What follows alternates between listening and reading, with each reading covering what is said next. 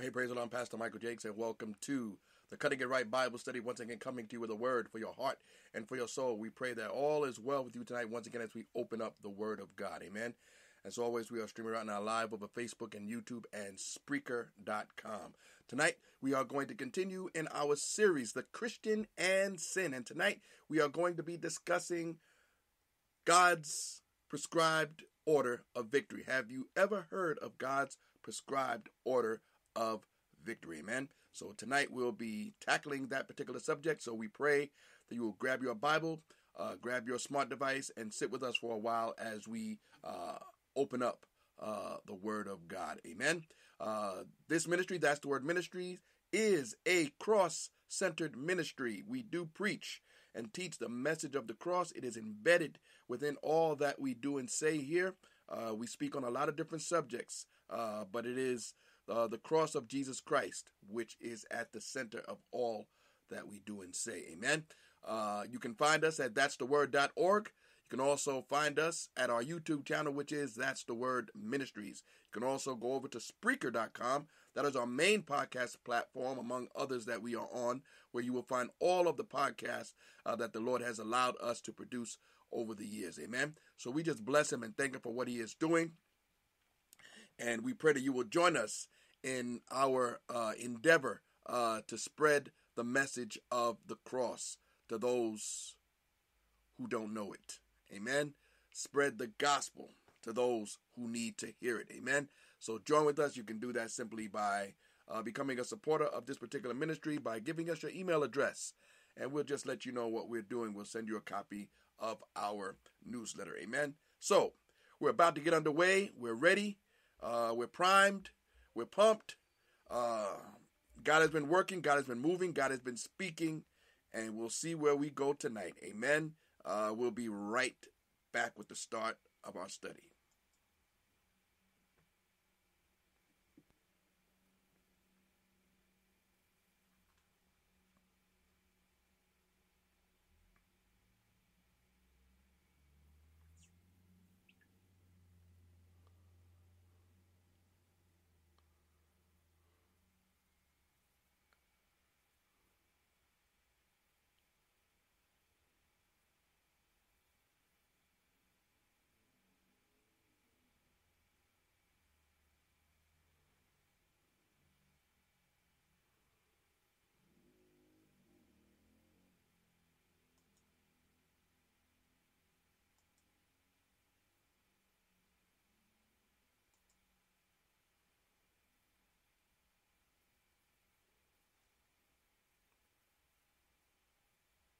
Well, praise the Lord.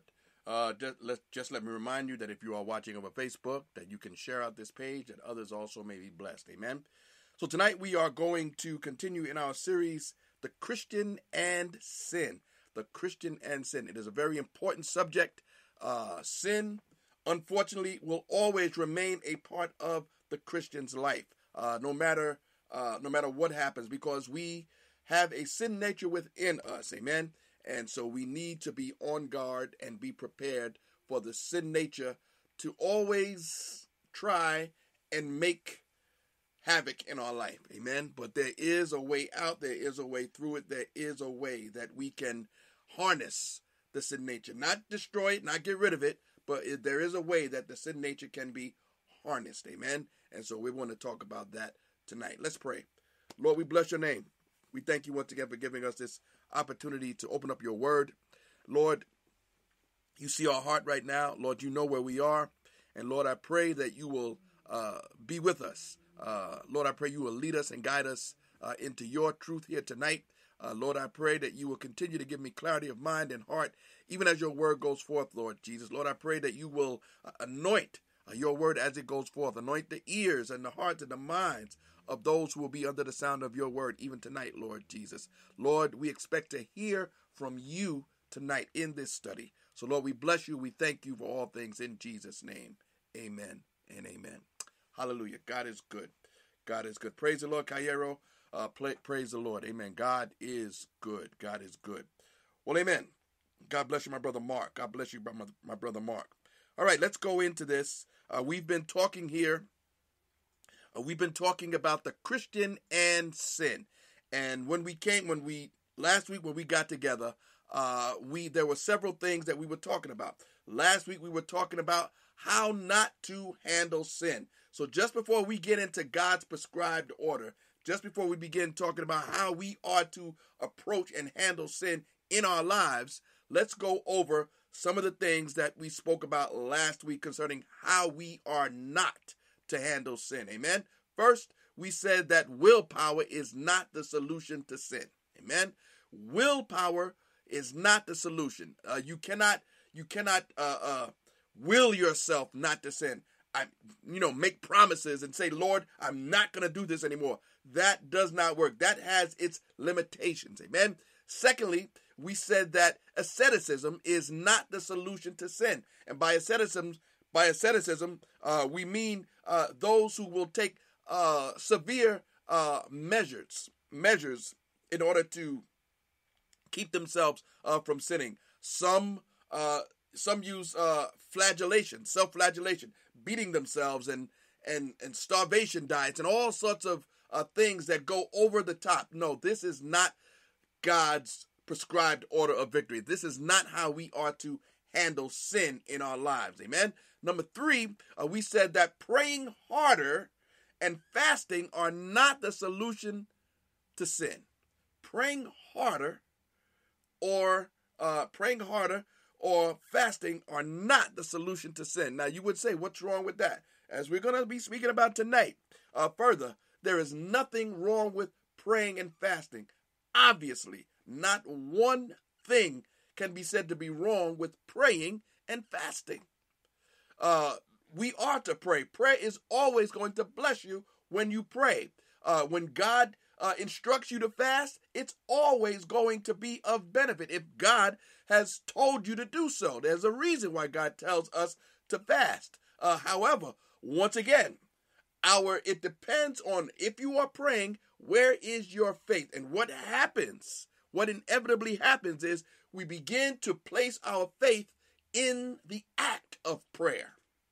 The act of prayer, in the act of fasting. And that is where the mistake is made. We must be careful not to place our faith anywhere else, as we will find out further tonight, anywhere else except in the finished work of Christ. That is where our victory is. And so we must not put our faith in the fact that we have prayed. Yes, as you pray, you have faith. Now, that's once, once again, those are two different concepts. We are to pray in faith. Of course, Jesus instructed us. We are to pray in faith. But we are not to put our faith in the fact that we have prayed or praying. Prayer then will become an idol, it becomes a work and therefore God will not bless it. Amen. So we must be careful not to do that. So this is why we say uh, prayer and fasting are not the solution to sin, because once again, we begin to place our faith in the act. Prayer will bless you. So I don't want anyone to leave here saying, this man has just told us that we should not pray and fast. No, no, no, no, no. That is not what we are saying. Amen. All right, next uh, we said that performing an abundance of works, performing an abundance of works is not the solution to sin. An abundance of works. And I told you the story about a pastor that I uh, that I knew years ago uh, who informed me that the reason why uh, he was doing so much, the reason why he was running around and, and, and speaking at other places and, and just doing a lot of ministry work. And the reason he told me when I asked him what what are you, you know, doing so much for, he said he said the more he does, sin goes away. And I didn't know much about anything about what I speak now at that time, but when I heard those words, that didn't that didn't strike a chord as something that is right. We cannot work our sin off. We cannot work our sin away. I'm going to work so much that I won't be tempted. I'm going to work so much that I won't have time to sin. Yes, your flesh, your carnal nature, uh, you will, that it will find a way to sin. So working it off, you cannot work it off. You cannot serve it off. You cannot minister sin away. It will not work. What you will find is sin will rise. You're trying to get it to go away by working and doing and so much you have to do, you will find that sin will make a strong reappearance in your life. Amen. That is that is a fact. Amen. Next, we said that speaking in tongues, speaking in tongues. We didn't say this last week. Actually, this is this is something that I'm add, adding this week. Speaking in tongues, as good, as glorious, as right, as necessary, however you want to put it, uh, as it may be, speaking in tongues is not the answer to sin. It is not the solution to sin. Go lay before the Lord and begin speaking in tongues, and everything is, is going to be all right. Once again, this is one of those things, it's not going to hurt you. It's not going to hurt you. If you are one who does believe in speaking in tongues, nothing wrong. There's nothing wrong with speaking in tongues, obviously. It's scriptural. However, you cannot tongue your way, speak in tongues your way. That's crazy English, I understand. But you cannot, uh, you cannot speaking by speaking in tongues, you cannot cause sin to go out of your life. It, that's that is not the purpose of tongues. Okay? So just because you speak in tongues, do not think that Satan is going to say, "Oh, I'm scared of this person because they're speaking in tongues." And so I'm not going to bother them, I'm not going to tempt them. No, that's not going to happen. And so once again, uh, speaking in tongues is not the solution to sin. Amen. So, what is the solution to sin? The solution to sin, since we are going to be dealing with sin for the entirety of our life, we're going to be dealing with sin in one way, in one form or another. This is a fact. Once again, all due to the sin nature that dwells within us. It's embedded. We have a sin nature and it sins, it wants to sin. And so we have to deal with it. We have to deal with it. And there is a way to deal with sin. Let me give you this one first. Sin must be dealt with on the basis of Christ's finished work on the cross. This is the beginning. We're talking about God's prescribed order of victory over sin. Sin must be dealt with on the basis of Christ's finished work on the cross. You may say, you may say, you talk a lot about the finished work of the cross. That is everything. You have to understand that every single blessing that we have, every single blessing that we enjoy in Christ is due to the cross what Jesus did there. And please understand when we talk about the cross, we are not talking about a wooden beam. We're not talking about the actual wood that Jesus died on, the tree that the wood came from. We're not, we're not talking about that. When we talk about the finished work of Christ on the cross, we're talking about what transpired there, what took place there, what was the grand result of Jesus' death at Calvary. And it was our victory. It secured our victory. It brought us justification. It brought us deliverance. It brought us sanctification. It will eventually bring about our glorification. And those are just three powerful blessings of the cross. Every blessing that we have. We can be forgiven because of the cross. Because of the cross. Uh, the day of Pentecost was able to take place because of the cross. Every, listen, everything that we enjoy is because of the cross.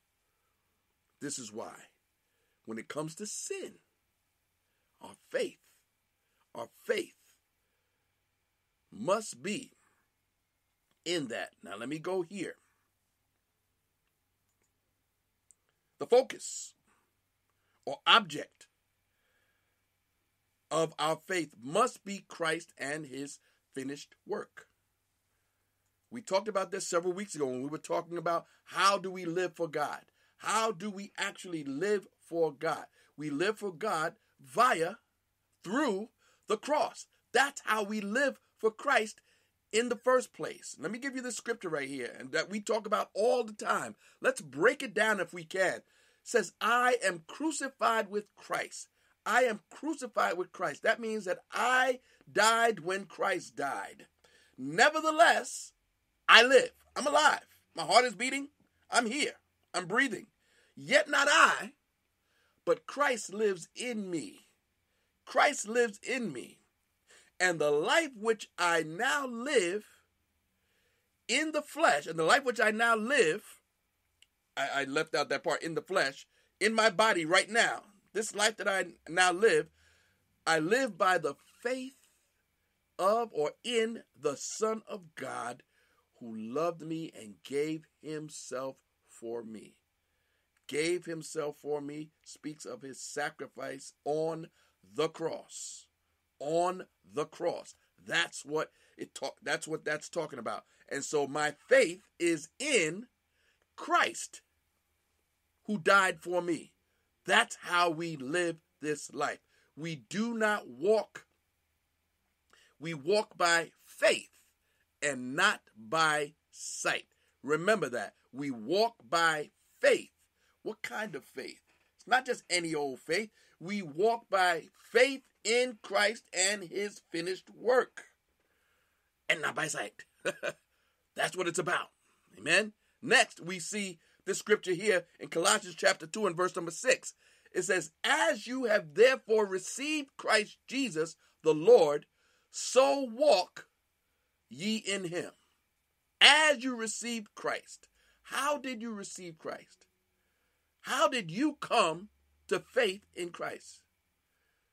Through believing in who he is and what he has done. Listen, once again, when I prayed that prayer, when I asked the Lord to come into my heart, I didn't know any of what I'm talking about now. And most people don't know any of what we're talking about now. The Holy Spirit comes to them and they are burdened by their own sin. They are convicted by the Holy Ghost and they give their hearts to the Lord. But there must be a, a there is a faith factor. There is a faith factor. They begin to believe. They're not believing in the pastor who spoke. They're not believing, no, no, no. They're believing in the word that has spoken to them. Faith comes by hearing, and hearing by the word of God. And they believe what Christ did was for them. That is why, let me go here real quick. Uh, that is why we read in uh, Romans uh, chapter number 10, uh, starting in verse uh, number 9, that if thou shalt confess with your mouth the Lord Jesus and believe, believe, there's that faith, and believe in your heart that God has raised him from the dead, says you shall be saved. You have to believe in your heart. So that's the faith transaction that must be that must take place if an individual is going to get saved. When you got saved, that is what happened. When I got saved, that is what happened. Even though all I said initially was help, that's all I knew help. God saw the need behind the heart, He saw the need behind those words, and He saved me. He saved me. I had been convinced that what this pastor was saying, and once again, it wasn't the pastor, I didn't put my faith in what the pastor said. I put my faith in what the Bible said. The pastor was just a, a vessel being used. But I put my faith. I became convinced via the Holy Ghost that what was being spoken was truth. And I was convinced that I needed what he was talking about. If a person first does not recognize it, we're talking about the Christian in sin. If a person does not first recognize that they are a sinner, talking about those who are unsaved right now, if a person doesn't recognize that they are a sinner, then they will not get saved. That's bottom line. They can't get saved. I didn't get saved before because I was unconvinced that I was a sinner. Some people hear the message uh, uh, of the gospel the first time, and the Holy Spirit takes them and changes them immediately. That's not so with everyone. I'm a witness to that. It, it doesn't happen overnight. It was a process for me, it was a period of time. But once I was convinced that I was a sinner, and once I was convinced of my own misery in my sin, this is when I, re- I reached out and said, What is being spoken is true, and this is what I need. And that, that's when I put my faith in what Christ did for me. For God so loved the world that he gave his only begotten Son, that whosoever believeth in him should not perish but have everlasting life. I believed it. I believed it.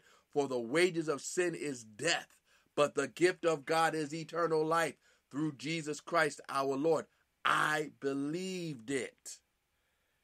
It all rang true.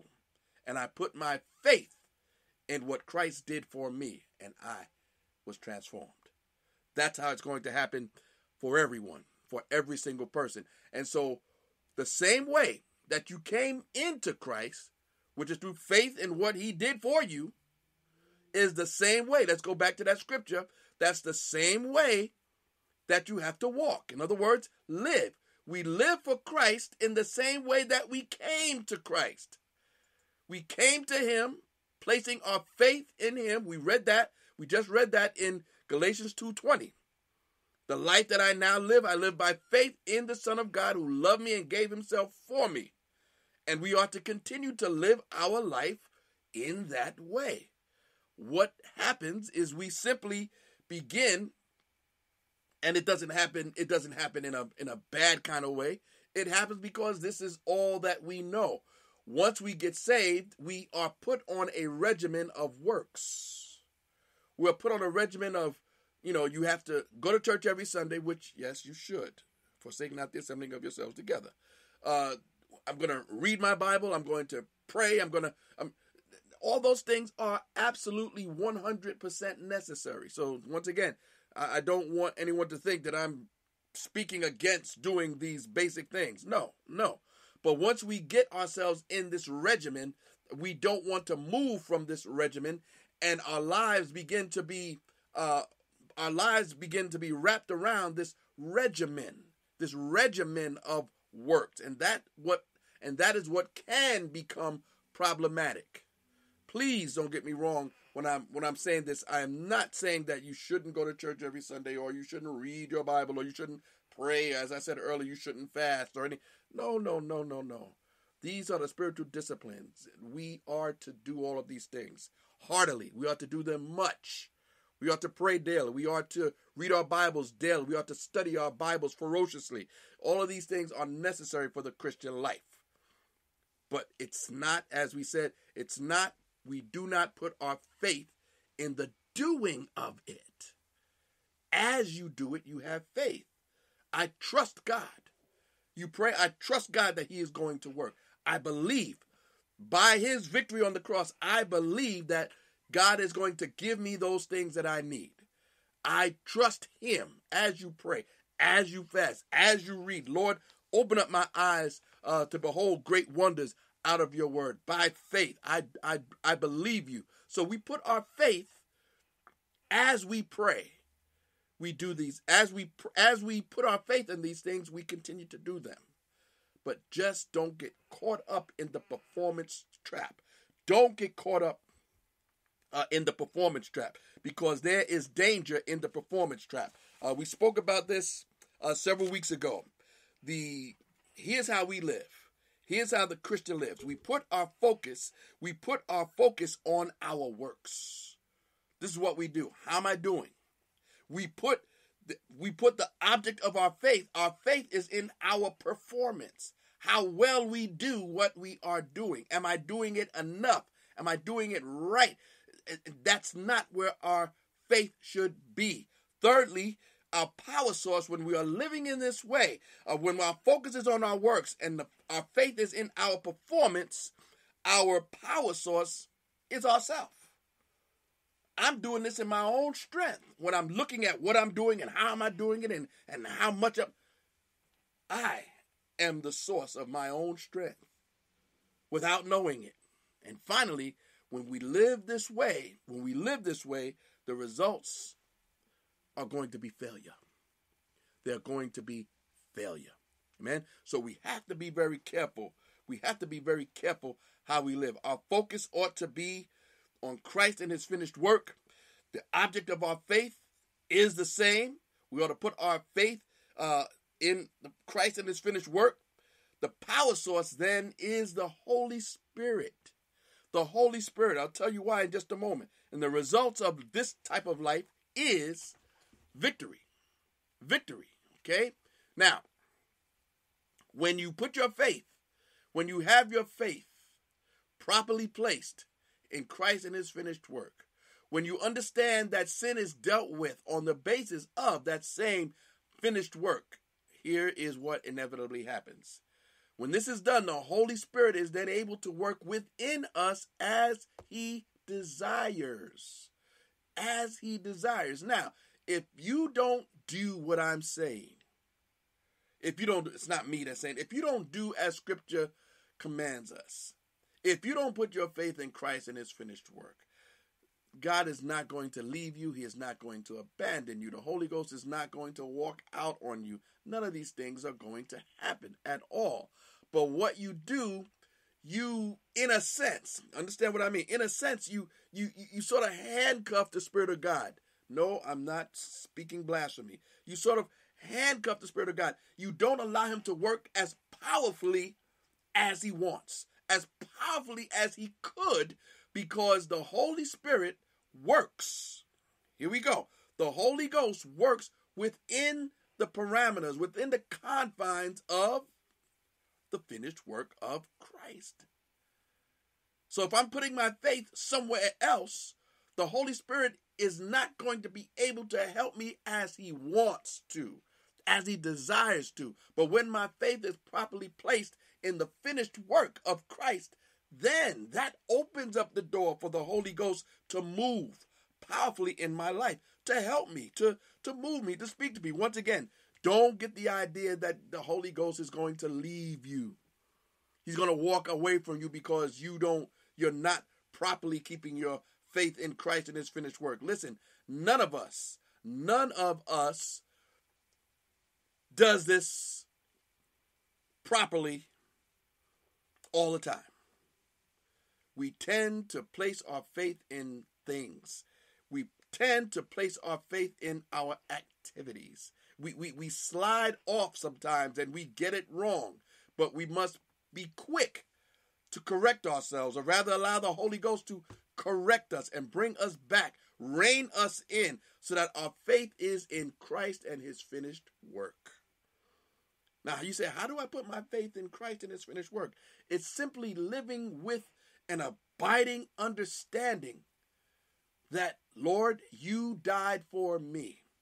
And Lord, I don't need to struggle. I don't need to fight with this thing. I don't need, Lord, the victory has been won already at the cross.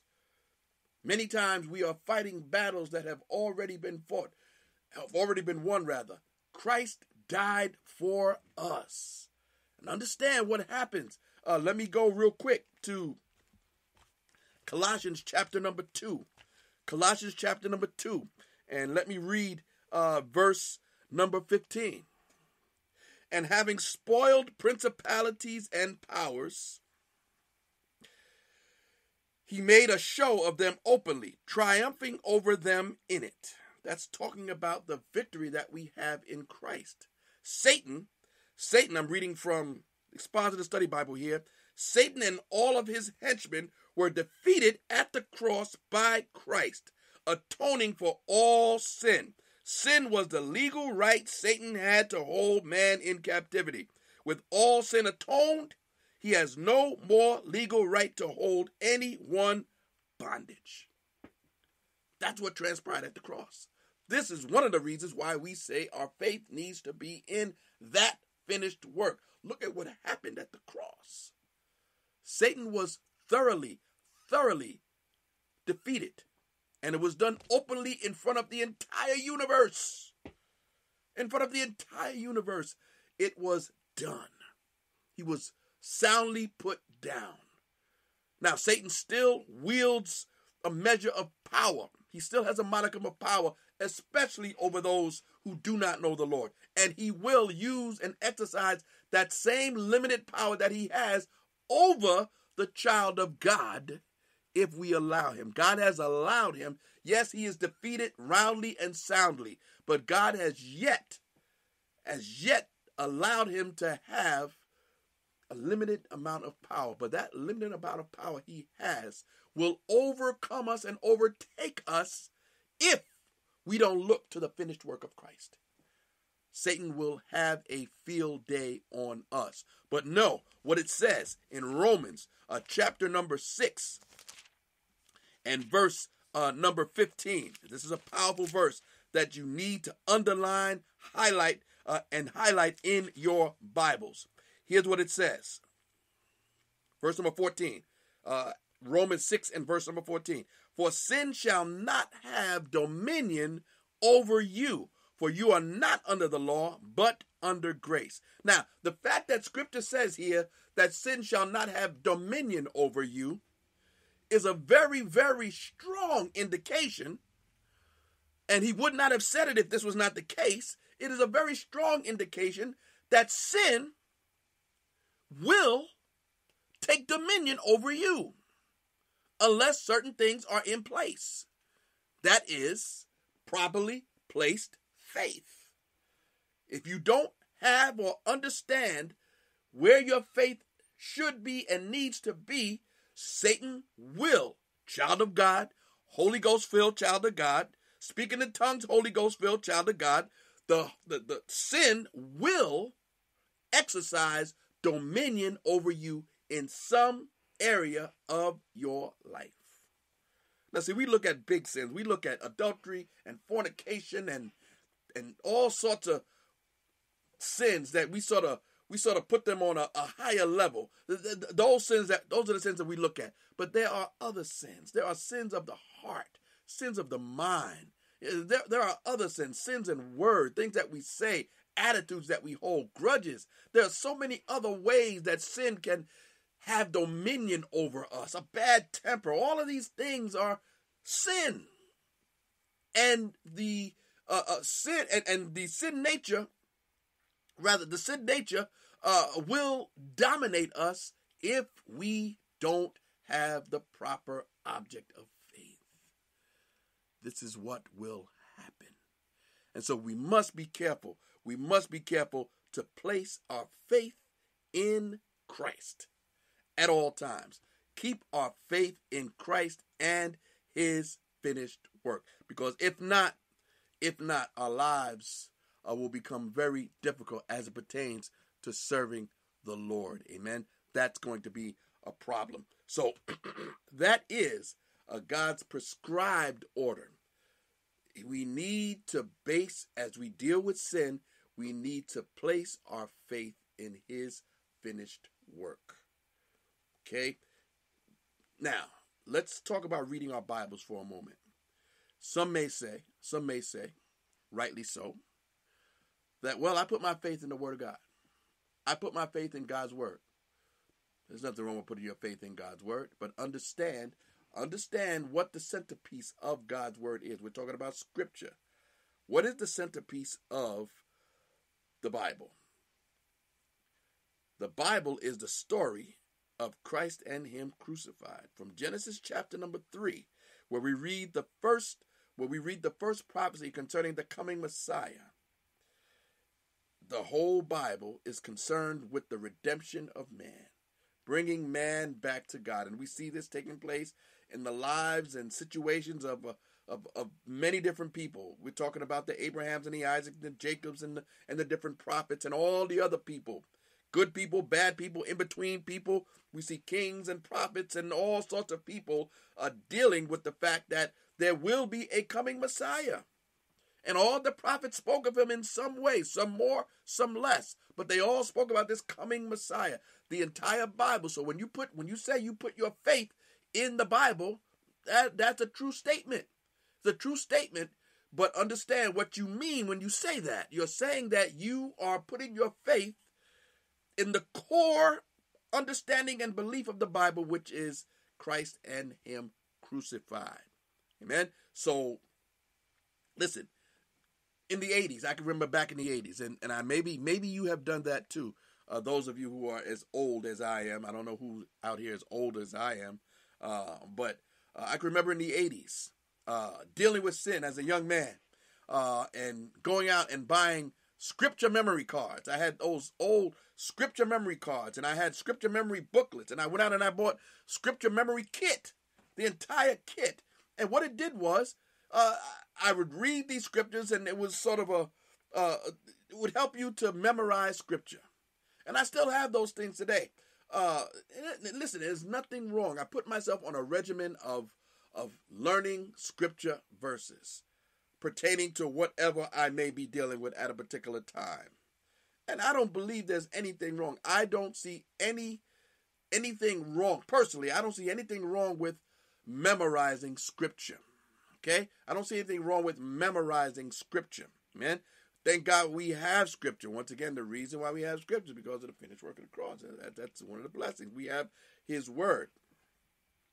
However, once again, as I did this, I can remember, uh, I can remember uh, dealing with situations in my life and and quoting scripture, quoting scripture, and it would tell me you'll have to, you may have to, re, you may have to quote the scripture again, and you keep quoting the scripture over and over again until the temptation goes away.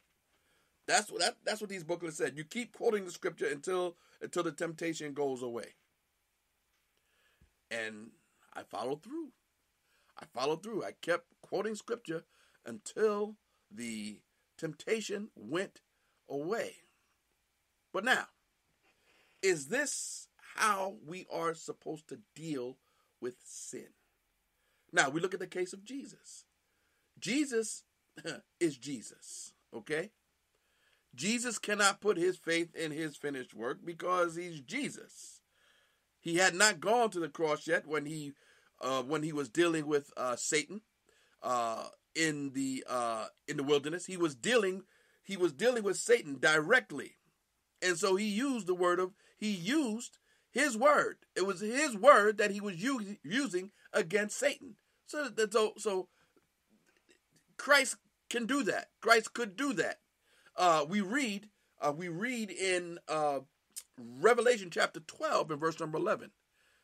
And they overcame him, talking about Satan, they overcame him by the blood of the Lamb and by the word of their testimony. And they did not love their, li- love their lives unto the death.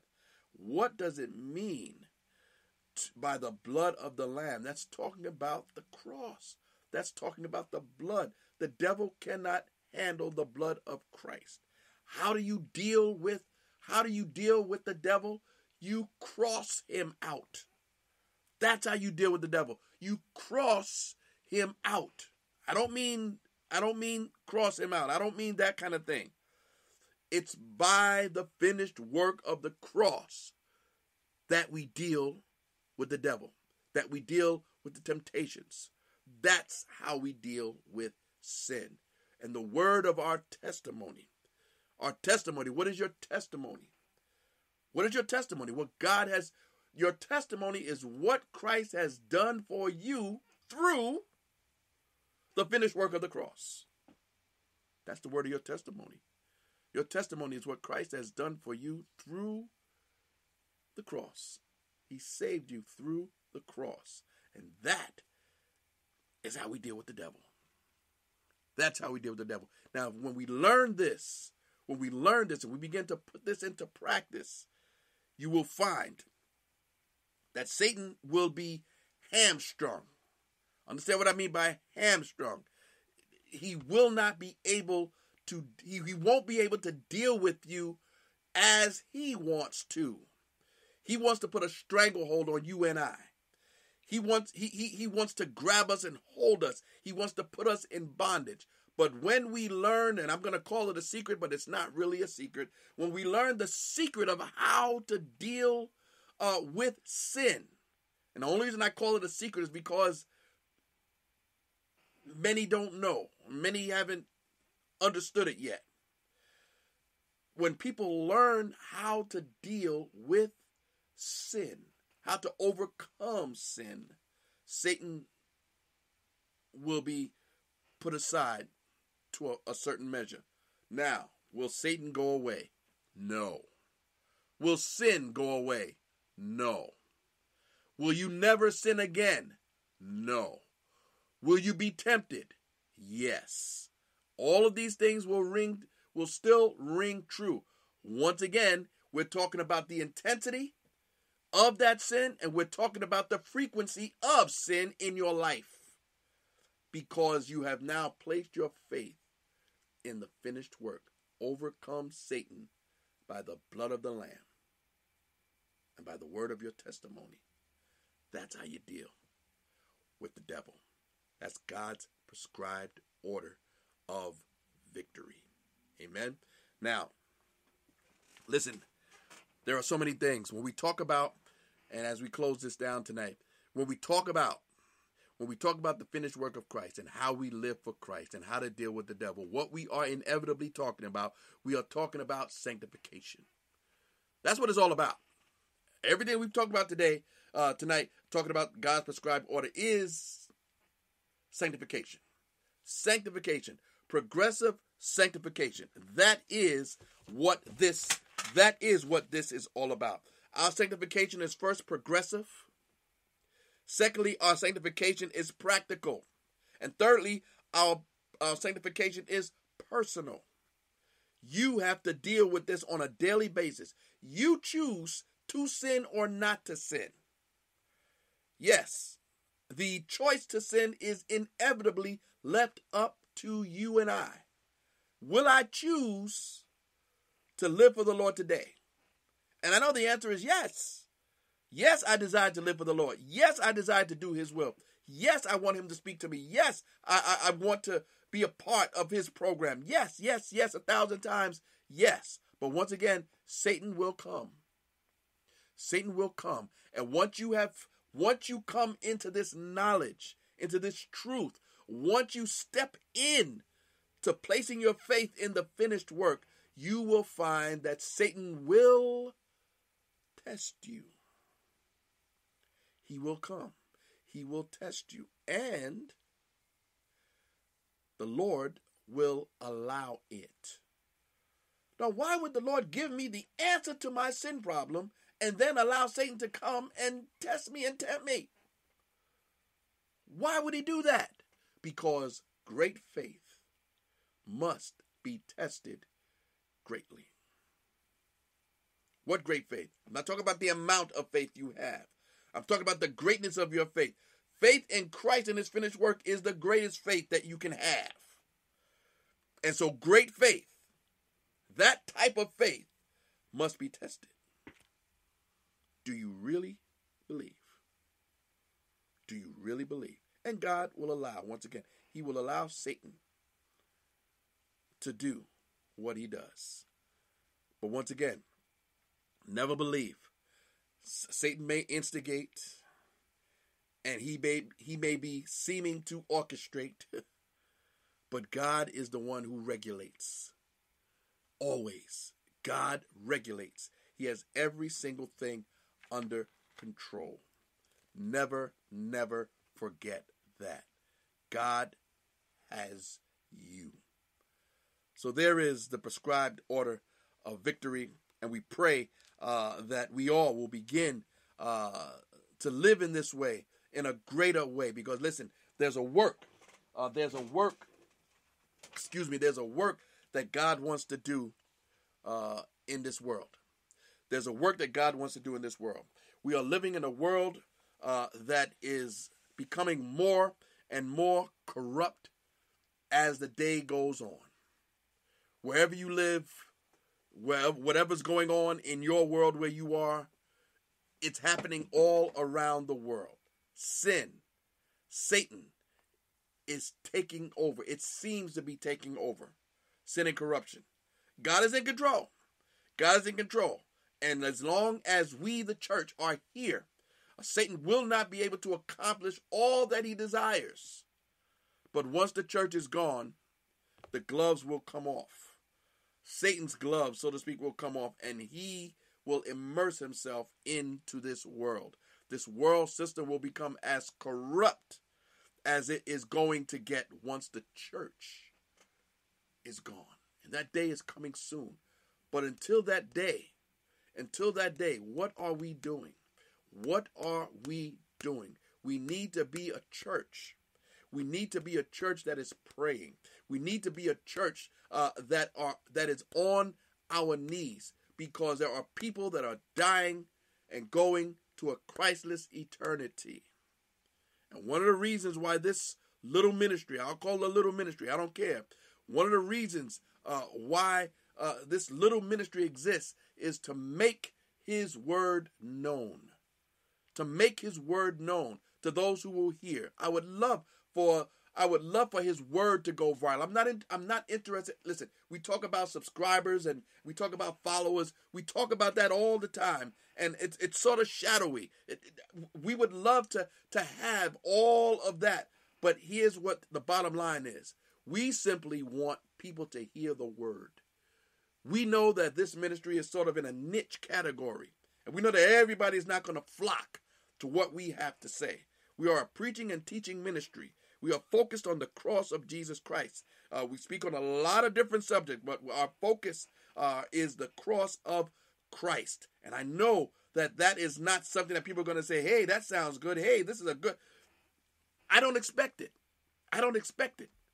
But for those, for those who will join us as we uh, endeavor to spread this gospel, uh, we ask for your prayers. We ask for your prayers as we continue to do uh, the work of God. Kristen Hadassah says sometimes uh, says sometimes uh, after we sin, God allows us to walk through the valley of Achor so He can show us how far He can pull us out. But we must seek His face through it all. Amen. Amen. God will allow. Uh, God will allow these times uh, in our life just to show just how faithful He is. Amen. So so don't be surprised. Don't be surprised. Listen, you can look at Elijah. You can look at what happened with the life of Elijah after this great victory uh, on Mount Carmel, uh, and all that God did, perform the miracle right there. Uh, yet and still, it was a very, very short time later that we see Elijah running for his life because of a letter that he received from an evil woman, uh, which was Jezebel at that time. Uh, and we see him running for his life. And so, after what happens after victory is important. What happens after victory? After victory, we need to be prepared because the enemy will come. Uh, something very basic and simple. Sometimes, and I can I can attest to this, you know, in my in my lifetime, uh, leaving church after being blessed, after God has moved, after God has touched, uh, and leaving church, and how the enemy will will will sort of come almost immediately. Sometimes after uh, you've just been blessed by the Lord because the enemy wants to snatch what God has done for you out of your heart. That's how the enemy works. So I thank you, Kristen, for that uh, that bit of insight. It is so true. Uh, he will allow us sometimes to walk through that uh, through that valley, uh, but he will pull us out because he will never leave us or forsake us. Amen. So I pray that you will continue to pray for us. Pray for this ministry as we continue to move forward in the work of the Lord. We've, you know, we we've heard from the Lord many times, and we continue to hear from the Lord. But uh, you know, sometimes you hear a word. Sometimes you hear a word uh, that, um, listen. Sometimes you hear a word that sort of spurs you on, and uh, we we've we've heard a word uh, very recently, and uh, this ministry will continue uh, to move forward in spite of everything and anything. This ministry is all about uh, the Word of God, the cross of Christ. Amen. So join us in prayer as we continue uh, to take this message forward. Amen. Let's pray. Lord, we bless your name tonight. We thank you, uh, Lord, for allowing us once again this opportunity to open up your word.